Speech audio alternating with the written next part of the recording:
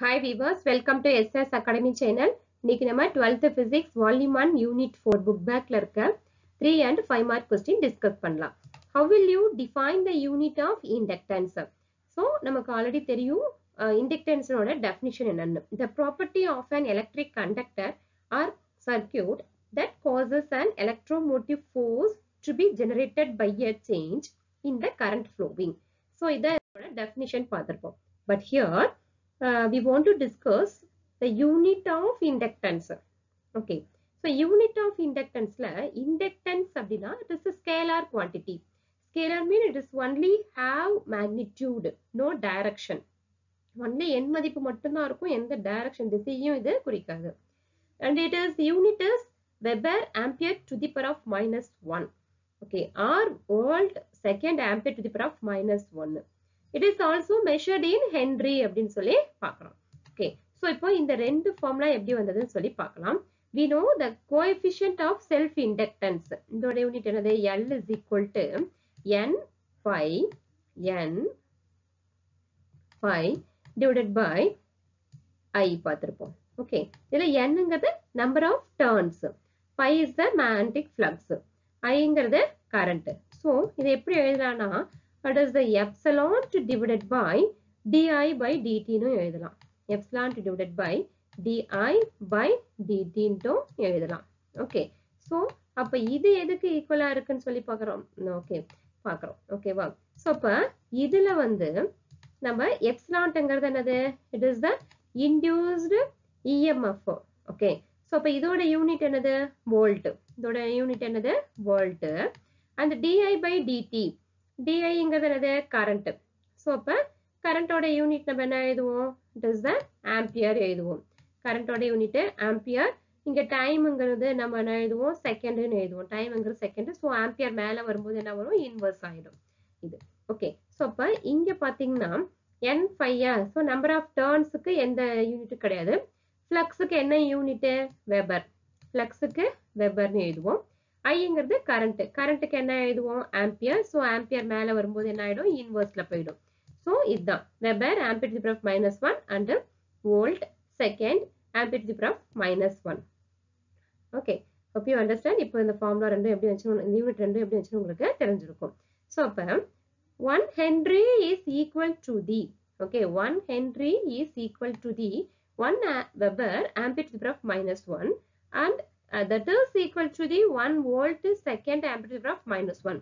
Okay, this could be asked an objective type question. இது வந்து one mark கொஸ்டின்ஸ்ல இதை கேட்பாங்க தென் நெக்ஸ்ட் இதோட டைமென்ஷனல் ஃபார்முலா எழுதலாம் the dimensional formula of inductance is இந்த டைமென்ஷன் ஃபார்முலா இப்போ எப்படி இதுல வந்திருக்கு அப்படின்னு சொல்லி நம்ம பார்க்குறோம் அப்படின்னு சொன்னா இதோட டைமென்ஷன் ஃபார்முலா பார்க்கலாம் இதுல okay so first we know already W is equal to Q V Q. W is equal to Wங்கிறது என்னது? work done is equal to, work done இதுக்கு equal இருக்கும். வோல்ட்டுக்கும் சார்ஜுக்கும் ஸோ அப்போ வோல்ட் வந்து நம்ம எப்படி எழுதலாம்? Volt is equal to W by Q எழுதலாமா? work done divided பை சார்ஜ்னு எழுதலாம். Work done divide by charge அப்போ done ஓட யூனிட் என்ன எழுதுவோம்? ஜூலு done டன்னுக்கு யூனிட் என்னது? ஜூலு சார்ஜுக்கு என்ன எழுதுவோம்? கூலும். கூலும். ஓகேவா ஸோ இப்போ ஜூலை நம்ம எப்படி எழுதுவோம்? நியூட்டன் மீட்டர்னு எழுதுவோம். ஜூல் வந்து என்ன எழுதுவோம்? நியூட்டன் மீட்டர் இது வந்து ஜூலு ஜூலை நியூட்டன் மீட்டர்னும் கூலும் வந்து எதுக்கு வந்து ஈக்குவலாக இருக்கும்? It is the current into time okay so அப்போ ஆம்பியர் கரண்ட்டுக்கு என்ன யூனிட் ஆம்பியர் டைமுக்கு second newton metre divide by ampere செகண்ட்னு எழுதலாமா? ஓகே ஸோ அப்போ இதோட ஃபார்முலா நம்ம எப்படி எழுதுறோம்னா இட் இஸ் த நியூட்டன் மீட்டருக்கு என்ன எழுதுறோம்? Kilogram metre square kilogram meter square. Okay kilogram meter. One second kilogram meter kilogram meter and second to the power of kilogram meter and second to the power of minus 2 okay then meter ampere to the power of minus 1 second to the power of minus one இது ரெண்டும் மேலே வந்துடும் இல்லையா? அதனால இது ரெண்டு இங்கே எழுதியிருக்கோம்.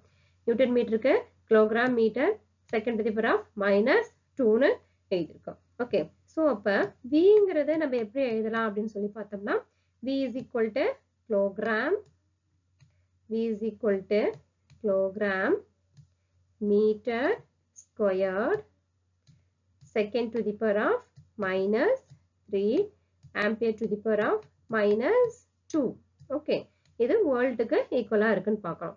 ஸோ இப்போ இதோட டைமென்ஷனை நம்ம எப்படி எழுதலாம்னா இந்த கிலோகிராமுக்கு என்ன எழுதியிருப்போம்? கிலோகிராமுக்கு metre M capital M and metre ஸ்கொயர்டுக்கு length L squared okay and செகண்டுக்கு என்னது? T power T to the power of minus two போட்டிருக்கோம்.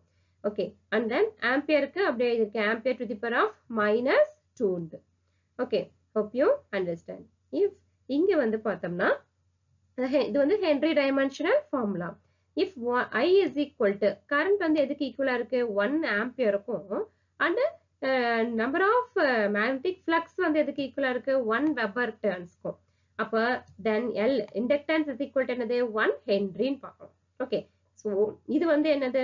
இது வந்து மேத்தமெட்டிக்கல் ஃபார்முலால பார்த்தோம்னா இதோட டெரிவேஷன் தியரட்டிக்கல் ஃபார்முலா எப்படின்னு பார்க்கறோம்னா therefore the inductance of the coil is said to be 1 henry if a current of 1 ampere produces unit flux linkage in the coil okay so இது வந்து two mark கொஸ்டின்ஸ்ல கேட்க chances இருக்கு இந்த question okay this could be asked uh, two mark question then next uh, concentrated this then if di by dt is equal to 1 ampere second to the power of minus 1 and epsilon is equal to minus 1 volt then L is equal to 1 Henry okay இது இது வந்து mathematical formula theoretical பார்த்தோம் அப்படின்னு சொல்லி பார்த்தோம்னா theory formula பார்க்குறோம்னா therefore the inductance of the coil is okay 1 Henry if a current changing at the rate of 1 ampere second to the power of minus 1 அதாவது ஒரு செகண்ட்ல ஓகே ஒரு செகண்ட்ல ஒரு ஆம்பியர் சேஞ்ச் ஆனிச்சுன்னா அந்த காயிலோட இண்டக்டன்ஸ் வேல்யூ வந்து